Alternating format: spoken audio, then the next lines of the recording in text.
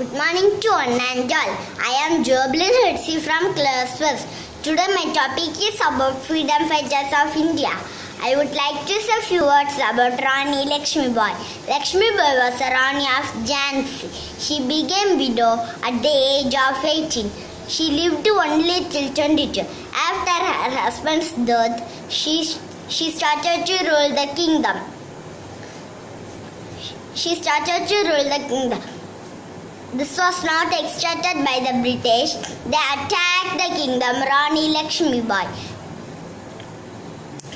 They decided to go with bat- battlefield with a child by horse. She dressed as a man and fought against the British. She was killed on the battlefield. I salute this brave and courageous woman. Thank you.